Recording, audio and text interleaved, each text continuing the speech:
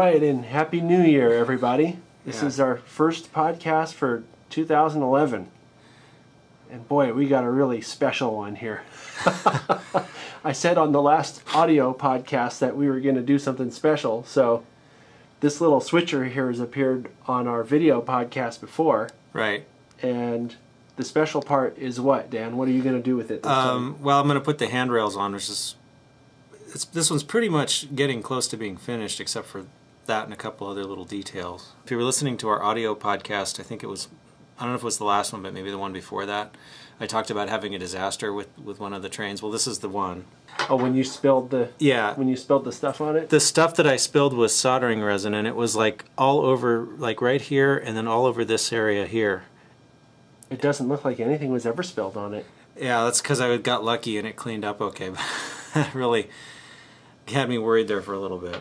The original handrail that came with the Athearn Blue Box is a steel wire. I changed the stanchions and used, I think they're precision scale plastic stanchions. However, what bugs me about this one is that the, um, the rail itself is a little bit thick. So I made some new ones with some brass wire and some uh, precision scale brass stanchions that I soldered together and then painted. So this is the new handrail. Oh, I see. It is a bit thinner, isn't it? Yeah, so you can see that the railing itself is, is more to scale than than this.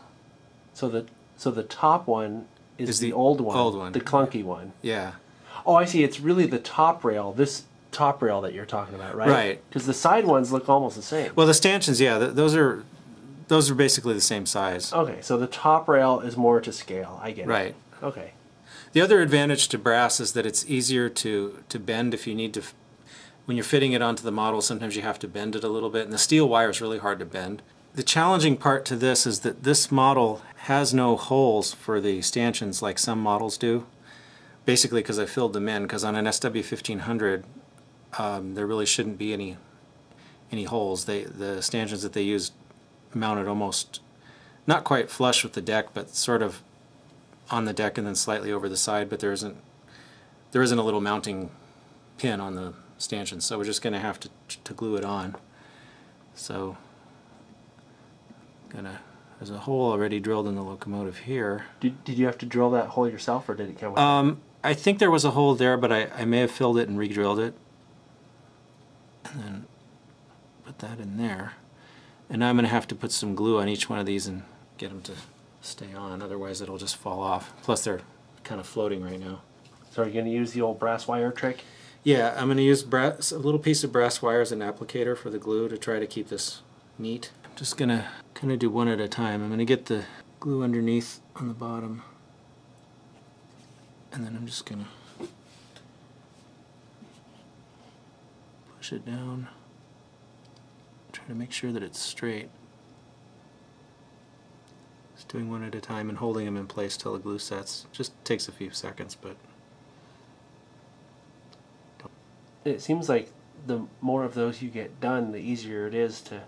Yeah, well, it's it becoming more stable now. Right. The first one's hard because there's nothing holding it on. Could see that. See, this is why I, I can't do this kind of stuff. I just don't have the patience for it. Uh oh, What came off? I glued my finger to the.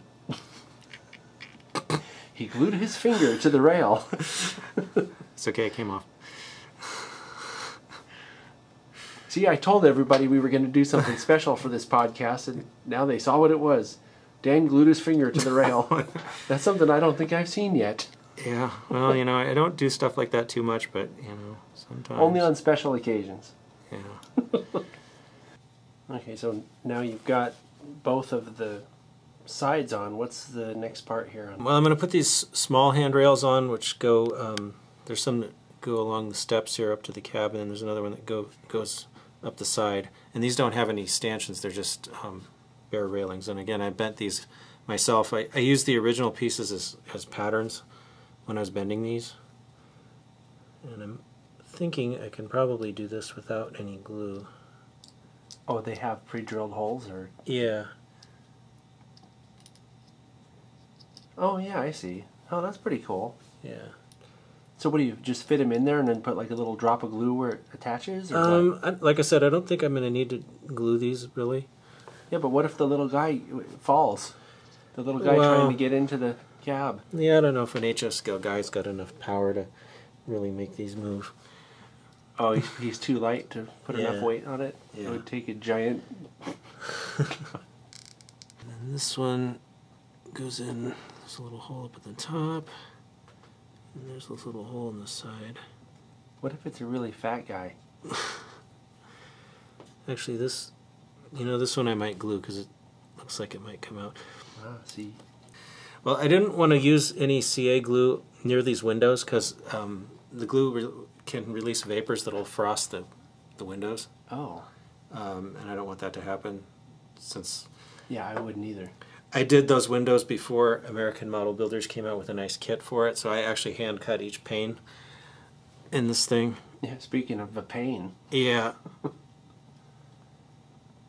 I originally worked on this model many years before Athearn released their nicer new SW1500, but I didn't want to give up on the model. how would this compare with one of the nicer new ones? Well, Once- once let's take done. a look. Oh, is that one of the nicer new ones? That WP unit? yeah, this is. Um, I mean, I think after all the detailing I've done, they're pretty comparable. Obviously, this is a WP, so some of the details and the lights are different, but um, essentially it's the same locomotive. Yeah, we'll take a look at this while you're putting that last rail on. Yeah. Huh.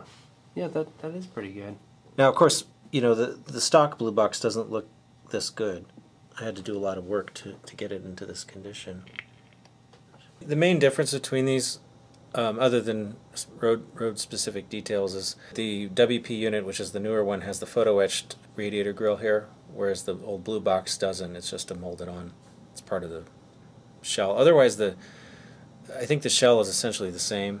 So, and then after the, the work I've done to it, I think it looks, you know, pretty good in comparison. I, I, there's still a few more details that need to be added, of course, but um, just getting pretty close to being done. So what's the last thing you have to do? The railings on the back? Yeah, the railings on the back, and then I, I got like, um, I don't know if you can even see this on camera, but I have a little length of, of uh, Oh, yeah, chain, you can see that. and I'll what I'll do is I'll hang that between these, the ends here. Oh, like how it is on the other one there? Yeah, and then there's stuff like the MU connection and the drop step and little things like that that I still haven't put on this model because I'd like to do that after the handrails are on. Okay, so it looks like we you finally got the back. Yeah, I got the back handrails on, and uh, like I said, there's still a few more little details to to add, but I always feel like it's getting real close to being done when I get the handrails on because that's usually like one of the last things I do when I'm making Yeah. a, a diesel. So Okay. Cool. All right. Well, I guess that'll wrap it up for this video podcast. So, thank everybody for uh, watching and listening, and make sure you tune into our audio podcast on the 15th of the month. And uh, make sure you tune into the next video podcast that will be on February 1st. yeah, And Happy New Year, everybody. yeah, happy New Year. yeah, thanks for watching. Yeah, thanks.